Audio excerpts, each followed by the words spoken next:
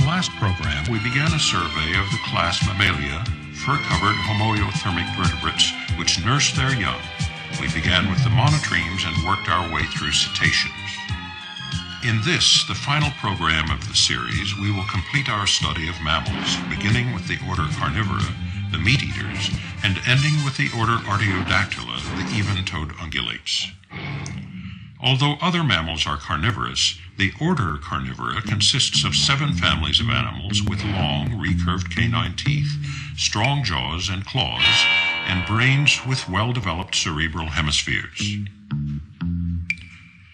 Dog-like carnivores, family Canidae, have slender muscular bodies and are well suited to running long distances.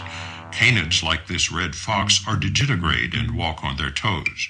They have small paws with non-retractile claws, good eyesight and hearing, and a keen sense of smell.